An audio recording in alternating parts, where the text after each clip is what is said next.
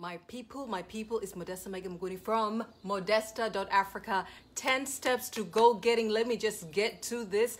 I want to give you these 10 steps because I've noticed that a lot of us go into goal setting without really being sold on our visions, without really being sold on the fact that somebody like us can achieve a thing like this. So, when you want to go out and set some goals, that you're not just kind of hoping that you'll be able to achieve, that you truly can confidently go after. These are the 10 steps you need to go for. Number one, make sure that your goal is aligned to your purpose, values, vision, and mission. I don't have time to go into that right now, but there is no point whatsoever in life to set goals that are not related to your path. I just read something the other day. I thought it was so profound. Talking about a lot of us are looking out for purpose, we're searching purpose, not realizing that purpose comes from God. So, in searching your purpose, you're basically asking God, what is your plan for my life? And I'll tell you, he has some huge goals. Just think of the biggest thing you could imagine and then some. Hey, Dr. Shalua, I see you. Welcome to the broadcast. We're talking about the 10 steps to goal getting. So, number one, it must align with purpose, values, vision, and mission. Number two, wait. It has to be one of those, wait, what you want to do, what types of goals? There is no point in going for anything I, I heard this the other day. Somebody else said this. A coach said that if your goal is something you can achieve on your own, you're not aiming high enough. You need to have one of those. Wait, what you want to do? What type of goals? And listen, listen, listen. Just before you think, well, if I have such a great goal, Modesta, chances I won't stick to it because if it's gonna be, wait, what? It's it's bigger than anything I could imagine. Wait for it. There's another point that's coming up on how you can take this. Wait, what? Type of goal to something more manageable that is within your means to achieve. But it, it is key for you to understand you are created to go for the highest expression of anything in life. Like, just think of the biggest thing you could imagine, the types of goals where you'd be like, I can't even disclose to people that I'm thinking of this. The types of goals that would literally change a nation and the world. The types of, wait, what? You want to do what type of goals? We are wired for that. Anything less than that, honestly, is an insult to the creator. So set a wait, what type of goal? That's number two. Number three, visualize what it looks like to actually achieve that goal. I put a post out, was it yesterday or the day before? And I was talking about, it was yesterday. And I was talking about how many a times we set goals and we have visions that we actually do not when we're really quiet and still and being truthful, we don't believe we can reach them. We just don't believe that somebody like us, with a background like ours, with the struggles that we have, with the issues that we've overcome, can achieve those things. So we put out visions, but they're kind of like a, a nice thing to say that I would love for this someday, somehow, in the sweet by and by, to have this. But there's the the truth of what you're saying to yourself is like it would take God and everything else to make that happen. I don't see that happening for me. So you need to get to a place where you can visualize you actually achieving that goal, you actually living out that goal in reality. And the best way to do that is start experiencing today the types of things that you will be living in when that goal is, is set. So if it is, um, let's say, a health goal, um, you can you can either visit somebody that's overcome the, the health challenge that you've had um, and, and see you know how they're able to move now whether it was an issue of mobility or it's an issue of pressure uh, high blood pressure or, or it's something with your cardiac or diabetes uh, you can you can get to a position you know, you, you, you can uh, visit places and visit people who, who've overcome the kind of lifestyles that they can have, or maybe you've had to go through a certain diet and you're thinking that would never happen with me, um, and to find out how you can actually make something like that, you know, uh, integrated into your life. Maybe it is a financial goal, because you know I always talk about finances, right? Hello, Uncle Asa, welcome. Hi, Elisa, welcome. Let's say it's a financial goal, and listen, we often want certain things as a means to an end, right? So I'm setting certain goals. It's not just to have money so people can say Modesta's value is blah, blah, blah, blah, trillions, because, you know, that's what I'm aiming for in Jesus' name. Blah, blah, blah, trillions. Not for the sake of the trillions, it's for the sake of what the trillions will allow me to do, right? And so when you set your goal, always remember the why of what it is that you want to accomplish and start visualizing that thing. So, one of the things that I have in my heart is this huge that I'm going to have across the four corners of Africa. And so, what do I do? I'm engaged in a conversation with an architect to imagine having these huge things that I'm looking to set up. And when I see that 3D model, when I can picture um, a little video, a demo video of what that would look like, that really brings it close. And I remember why that I want to reach out for this goal is because of the impact that I'd like to have. So whatever your goal is, whether it's financial, whether it's impact, whether it is uh, relational, that's a huge one, guys. When our relationships aren't doing well, nothing else matters. So whether it's relational, imagine living in the present of that and get connected with people that have overcome the challenge or the hurdle or the level that you're at right now so that they can tell you what it's like to be on the other side. If it is a car, like guys, I have a car that I want to have in the next couple of months. If it is a car, go to the showroom and you know test drive that car. If it is a house or an office complex go book a tour uh, whatever it is visualize you actually living out the fulfillment the achievement of that goal and put in your day bits and pieces and and and and and how do i say season your day with hints of this of this goal being achieved. So that was number three. Number four strategize on what it would take. I told you guys one of the most powerful questions you could ask yourself is, what would it take? Not can somebody like me, not, well, if I had the money, well, you know, if my marriage was better, well, if my kids weren't acting up, well, if, you know, if I worked under a different boss, well, you know, if I worked for a company that, no, no, no, just ask yourself, indulge yourself. It is free. It is free. Nobody will tax you for it. It is free to ask, what would it take? And it might take yeah working somewhere else. Yes it might take an, a, a higher income. Maybe might it will also take pre, the pre, preliminary steps would be you you know fixing your relationship with others. That could be part of the process but please don't look at the hurdles now. Don't look at the levels and the complexities of now and disallow yourself talk yourself out of imagining what it would take to get somewhere. So this is such a powerful question. Not do I have what it takes, not am I enough, not, you know, do I have the money for it? Just what would it take for this wait, what goal to be a reality for me? And then, you know, of course, you're brainstorming, you're strategizing what it would take. You know, so I don't know, maybe it does take a lot of money. Maybe it takes for you to move somewhere. Maybe it takes uh, that you have a team that works with you. Maybe whatever it is that it takes. Maybe it takes that you, you, you know, you lose weight, you start working out, whatever it is. And then number five, Find a strategy of those strategies that you were brainstorming that seems within reach. And then turn that strategy, this is number seven, sorry, number six, turn that strategy into a smart goal. So, of the things that it would take for me to get there, what I see as closest to me as something that I am able to today start implementing, take that thing and create a smart goal out of it a specific goal, a measurable goal that you can actually measure how well you're progressing, um, an achievable goal. That's something. Yes, it's it's big, but remember, this isn't that. Wait, what goal?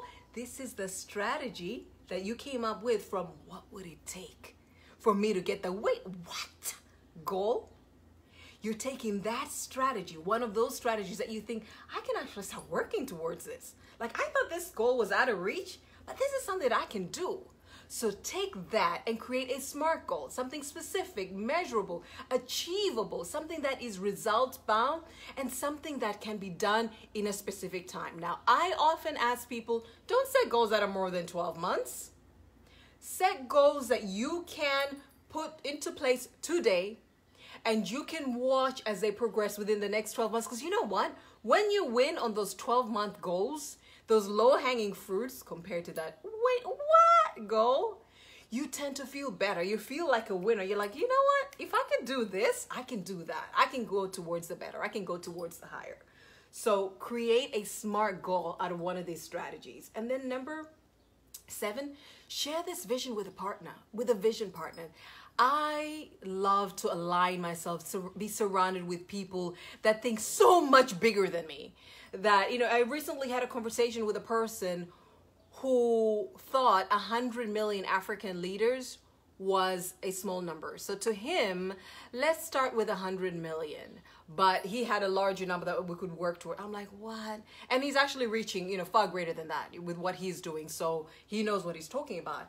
And I was like, do you realize that was my entire prayer, fasting, sowing into to God and to you? That is your floor. So I love surrounding myself with people who not only have, you know, share similar values and visions, but they think so much bigger than me. People who might, wait, what? Goal would be child's play to them. All right, then number eight, create a vision board. You're like, oh, Modesta, that's just so childish. Who has time to be doodling and cutting and whatever? There is power in keeping front and center that which you want to see. So I would urge you so do you know how Modesta hacks it? I really go open a Word document. I start getting clips from, you know, online, whatever. I cut and paste them, PDF it, boom, vision board printed out. Mm. So some people really like to cut out and do all kinds of things, and that's nice as well. People have vision board parties. That's amazing. But I truly open a Word document. I look for clippings. I look for um, icons, images, things that represent that which I want to achieve put them all together, call it Modesta's Vision 2020, whatever it is. Then I PDF that thing, I print it out, boom, on my wall. I have a vision board. I would encourage you to do the same thing, especially, especially since this. When we are going for huge goals, when we're going for the wait, what type of goals, there are often things that we have never seen, we have not heard, that no one that we know and can relate to has experienced. And so you will have a lot of voices in your head, and maybe a lot of voices externally that say, Who have you heard do that? Nobody ever gets there without going through this passage. We've been here a long time. We've been doing this. This is not going to be done. That's not the way to approach it. There will be many voices, yours and other people, that are saying, Sit yourself down. African, woman, uh, married, or whatever it is that they will mention, or you know, maybe they'll mention finances, reasons why you can't really expect that to come to pass in your life, really, do you? And so you need to have a board that is right there in front of you that says, This is what I'm going to achieve. For as long as there's a God in heaven and He can do exceedingly abundantly anything I ask, think, or imagine, this thing is going to come to pass. And you need to daily reminder. So I have next to my bed on the wall. So I'd have to turn, you know, when I'm on the bed, I have to turn to look at it. But I have next to my bed on the wall the vision of what I want to see. And then I have in little pieces of post-it cards, like sticky notes, all around that are telling me of who I am and what I'm going for, what I'm going to achieve, and scriptures that are affirming what it is I'm looking for. Why? Because I'm asking God for crazy things that I don't know anybody who's done. I mean, I'm literally asking for things I don't know of a human being on earth has done. So I need to have that. I need to have visuals of that. I need to connect with people that'll, you know, that that that can affirm, even if they've never seen that, but they're also big dreamers and will say, you know what? Go for it, girl. Sounds crazy, but you know, I am with you. And these type of people will connect you with resources, connect you with other dreamers, and sometimes that's all you really need. But so you have that visual of what it looks like and you have affirmations for yourself to help you along the way. And then number nine, think, speak, act in the present tense as if it's already a reality. I mean, get to a place where it's offensive. It's just offensive. Like, who do you think you are to dream that big? Who do you think you are that you and you're talking about it as if it is so. You know, people like, you know, you're delusional. There is something very seriously wrong with you. You believe you're going to achieve that, and then now you're talking like you're already there. What are you trying to be? Acting like this thing is what it actually is not? Well, that's what the word of God tells me. Speak those things that be not as if they are, and they become. Faith is the substance of things hoped for. It's the evidence of things unseen. So I am hoping, I am seeing in my mind's eye, I'm visualizing this goal that I'm going out to get.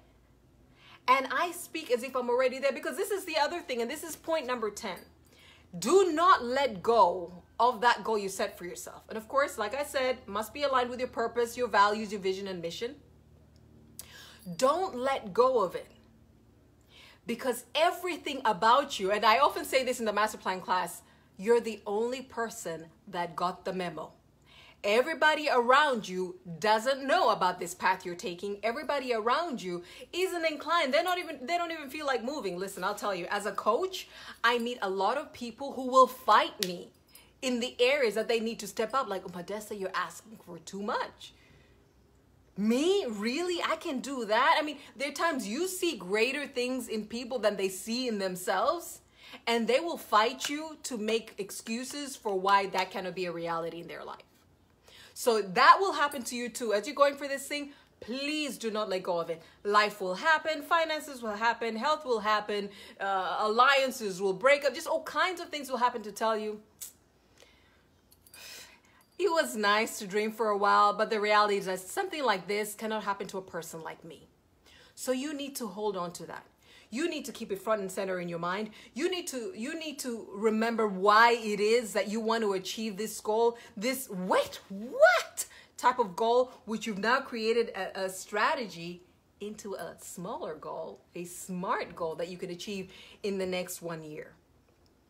I have come to understand that it takes the same amount of thinking, speaking, processing, brainstorming, dreaming, whatever it is you do, it takes the same amount of effort to aspire for something absolutely minuscule, small that you can achieve in no time, as it does to aspire for something so huge and great, you're like, God, let me see you bring this to pass. It takes exactly the same. So, are you going to dream the wait, what type of dream and goals? And then ask yourself, what would it take? I mean, I am not bothering anybody. I'm not asking for money from anybody. I'm just asking myself if I am to go for this thing, what would it take?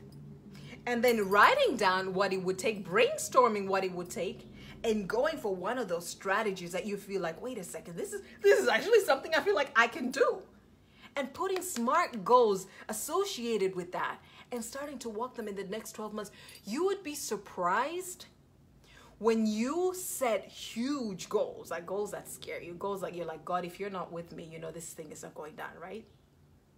When you set that big goal and you ask yourself what it would take and you start brainstorming, you would actually be surprised how much is within your capacity to execute how much it is within your power to implement. But unless you do, unless you stretch yourself to think bigger than what you think I can do with my hands, I can process with my mind, that I have the people and the resources to do, unless you go out of that, you'll never stretch out. As a matter of fact, unless you stretch yourself by setting high goals, you will never grow into the person you need to be to do that. So sometimes we're out there, we're setting things, but there's a voice telling us, but you know you don't have this. you know you fell so many times before. You know you tried this. Oh, you know so and so tried this. And so and so had more money and they had more of this and more of that. Who are you? I had a conversation recently with somebody, um, and it was over it was over a name of something. I'm like, why are you calling this thing this and not the other thing? She's like, oh, well, you know, so many people call it something similar and they might think I'm copying them. I'm like, when are you setting your vision and setting your goals on the mind of other people will think? Other people don't feature my people when you're going for, you, for, for your goals you and your God sit down and come up with those wait, what type of goals for your life, for your ministry, for your business, for your nonprofit, for your impact, for your family, for your finances, generational wealth. Hello, somebody. You sit with your God. You set those things for yourself, and then you will yourself to get there. Just ask yourself, what would it take? Don't ask yourself, can somebody like me, my age, my gender, my wealth, mm, would it take? It's an innocent question, but it is a powerful question. As soon as you ask, what would it take? You have set in motion the greatest reveal, the greatest revelation of what it would take. You actually start walking out, and you cannot now unsee you cannot undo. You will find that your life is invigorated with purpose. Your life all of a sudden starts seeing avenues, opportunities, starts seeing divine connections to make it happen. So, You need to know your purpose, vision, values, your mission, right? And set that white, what type of goal that you and anybody else hears is like, I know, I know, I know. Yeah, that's my goal. And just ask yourself, what would it take? You would be surprised how much sooner you will reach that big goal and it would have taken just as much energy and intentionality and investment as if you set an itsy bitsy goal for you to achieve one step and then set an itsy bitsy goal to achieve the next step and an itsy bitsy goal to go to the next level. Start big. God is not intimidated. God is not under resourced. Start big. He thinks big. It, it, he puts big in you. It is he who gives you the power to will and to work to please him. It is he who says, no, you know, what you're going to do is no eye has seen, no ears heard, no mind can conceive. It is he who says he's got these huge goals for us. That and whatever we ask, whatever we set, whatever we're out to get, he can do exceedingly abundantly above all of that. If I were you, I'd be setting go getting, wait, what type of goals? And I'd start today. So, guys, I came to you with this real quick. I'm going into a coaching session. I want to let you know I have my very last in person master plan class starting on the 1st of August. So, registration is open. I've already got people coming into this class. Honestly, I don't want to take more than 10 people in this class. I really want to give you my all. So, you want to learn more about the master plan class, you can DM me or go to purposeandexcellence.africa slash master plan and you learn more about this journey. If you're at a place where you're thinking, I don't have any more time to waste, I have tried things my own way and I have not landed very far. Like, guys, I'm a, like a webinar queen. I will watch people's webinar, I'll buy people's books. You know, I'm getting resources all around for things. But there is just something about having a coach that will walk you through the how to's that will help you get unstuck in your mind and in your heart first and help you with the tools, the resources, the strategies for you to excel in your career, business, and life. So if you're interested in being more than you had ever dreamed of, in finding out what God put in you and how you can achieve that, how you, yes, you, one person with 24 hours and responsibilities already, can achieve that and still stay sane and still have relationships, right? And still have finances. Matter of fact, to exponentially grow your income, your influence, and your impact. If you are ready to see not just changes, transformation, but actually impact, influence in your career, business, and life, in your industry, in your nation, look for me. Join the master plan class. So we start on 1st August. Registration is open throughout. If you'd like to have a conversation with us, I want to learn more on Modesta. I am actually going through this challenge at the moment in my career, in my business, or Modesta, you know, I've been doing the same old thing for a little bit. I'm looking to diversify. Maybe I'm looking to have a hybrid type of uh, market expression, both career and business. What would that look like for me? These are my responsibilities these are my financial obligations you know uh, this is my education. A lot of people feel like their education stands in the way guys. It does not but it, we'll talk about that. You can start where you are and grow. Like modesta here is about to get three certifications that i feel that i need for the next level. So it is allowed to do that but that didn't stop me. You guys know i started a very long time ago and i didn't have that. And everything that the lord has brought me through and to has been just as I am, trusting this big God and going after all that I want to go for um, to, to bring transformation to leaders in Africa. So if this is something that's that you would like to do, if you feel like I am ready, I've been doing it over and over. I've been doing it in my own strength. I've been doing my own strategies. I've been, you know, trying to do it with, with people on the on the ground. Things are just not going. Time is running out, and I want to be more effective. I want to have a life that's more fulfilling. I want to have an, a career you know that is more impactful that that has meaning. I'd like to i'd like to have a business that i'm not holding my breath about every single month. A business that that not only um, you know sells product but is, is a great place to work and has great impact in in a community in the industry. Look for me. Go to purposeandexcellence.africa slash masterplan or you can dm me or you can send me an email on info at purposeandexcellence.africa and let's get you registered for the master plan class. All right, just real quick. People be like, oh, Modesta, I saw how much it is. Uh, do you do payment plans? Yes, we do payment plans. I got you. I understand people come from different markets. I understand COVID happened. I understand that, you know, when you're converting from a national currency to USD, it can be a little overwhelming, but I have that sorted out as well. If you're serious and you're ready to invest in yourself, just ask yourself, what would it take? What would it take for me to join the master plan class? What would it take? Then have a conversation with me and I can help you see what it would take. Guys, it's been wonderful. Let me get to my coaching session right now. Have a wonderful Tuesday. Listen, set those, wait, what type of goals? And then ask yourself, what would it take to make this a reality? And you would be surprised that you will hit those goals sooner than you thought. If you've ever asked yourself, am I really, could somebody like me really? It means you actually do not believe you have what it takes to reach your vision. You actually don't believe, even if it is your vision, even if they are your goals, you don't believe like somebody like you deserves them.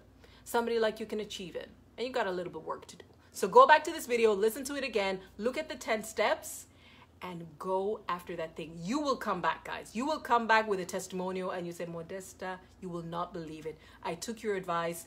I set a big goal. I asked myself what it would take. I got, you know, one of the strategies, created smart goal out of that, started executing it, and I am seeing the results in my life. And not just in my life, like it's spiraling up, it is having impact in other people's lives. Matter of fact, I've inspired seven other people to do something similar.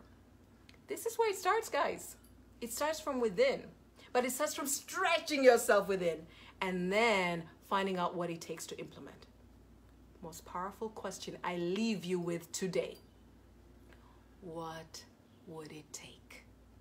Run with that. Have a wonderful, wonderful Tuesday. Much love. Bye.